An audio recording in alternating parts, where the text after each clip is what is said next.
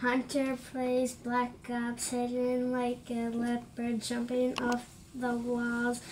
The red dot will leave you checkered. Hey! Good job.